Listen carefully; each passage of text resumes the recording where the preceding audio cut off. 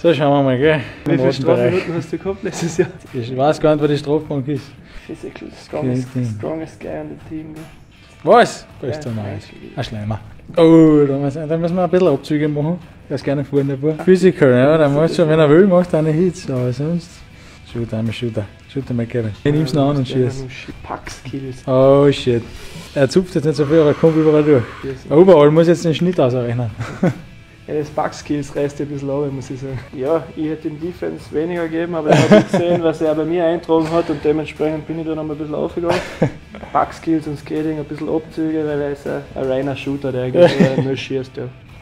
Und so Ja. komme ich auf 90. Da bei Skating bin ich auf 92 geworden, das ist unser Duracell Hasel, sagen wir mit seinem, der fährt überall hin. Da lässt nie die Batterie nach, deswegen da muss ich 92 geben. Disziplin, macht sehr wenig Strafen an, tut er immer auf alles. Und Backskills natürlich. Der kommt überall durch, er macht es nicht so elegant vielleicht, aber das schaut schon gut aus. Und für mich natürlich absoluter Topspieler.